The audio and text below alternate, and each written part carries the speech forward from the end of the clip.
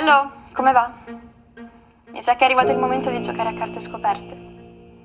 Io sono stufa di giocare ed è giusto che tu sappia realmente come stanno le cose.